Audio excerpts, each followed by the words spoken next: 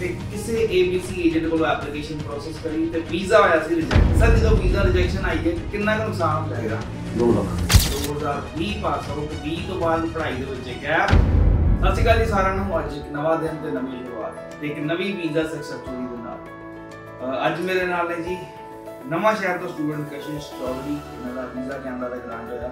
ਸੋ congratulation ਪਹਿਲਾਂ ਤਾਂ ਸਭ ਤੋਂ ਪਹਿਲਾਂ ਮੈਂ ਜਾਣਨਾ ਚਾਹੂੰਗਾ ਜੀ ਹੋਮ ਗਲੋਬਲ ਬਾਰੇ ਤੁਹਾਨੂੰ ਕਿੱਦਾਂ ਪਤਾ ਲੱਗਿਆ?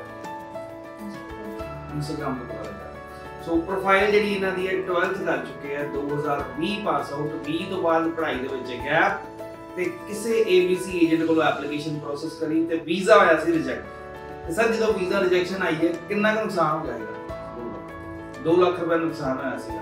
ਤੇ ਓਮ ਗਲੋਬਲ ਬਾਰੇ ਤੁਸੀਂ ਇੰਸਟਾਗ੍ਰਾਮ ਤੋਂ ਦੇਖਿਆ। ਇੱਕ ਵਾਰੀ ਸਰਵਿਸ ਬਾਰੇ ਮੈਨੂੰ ਦੱਸੋ। ਤੇ ਕਿੰਨੇ ਤੁਹਾਡੇ ਕੋਲੋਂ ਪੈਸੇ ਪਹਿਲਾਂ ਲਏ ਗਏ ਸੀਗੇ ਤੇ ਵੀਜ਼ੇ ਦਾ ਕੀ ਪ੍ਰੋਸੈਸ ਹੋਇਆ ਉਹਦਾ ਕੋਈ ਪੈਸਾ ਜੀਐਸਟੀ ਪੇਪਰ ਰਾਈਟ ਸੋ ਸਾਰੀ ਪੇਮੈਂਟ ਦਿੱਤੀ ਹੈ ਜੀ ਵੀਜ਼ਾ ਲੱਗਣ ਤੋਂ ਬਾਅਦ। ਇੱਕ ਪਾਸੇ 2 ਲੱਖ ਦਾ ਨੁਕਸਾਨ ਕਰਾਇਆ ਰਿਜੈਕਸ਼ਨ ਹੋ ਗਈ ਦੂਜੇ ਪਾਸੇ ਪੈਸੇ ਉਦੋਂ ਦਿੱਤੇ ਤਾਂ ਵੀਜ਼ਾ ਲੱਗ ਗਿਆ। ਕਿੰਨੀ ਖੁਸ਼ੀ ਹੈ।